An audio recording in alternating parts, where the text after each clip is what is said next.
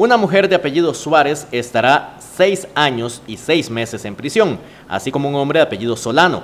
Estará 15 años y cuatro meses en la cárcel, según la sentencia del Tribunal Penal de Golfito dictada en aplicación de un procedimiento abreviado.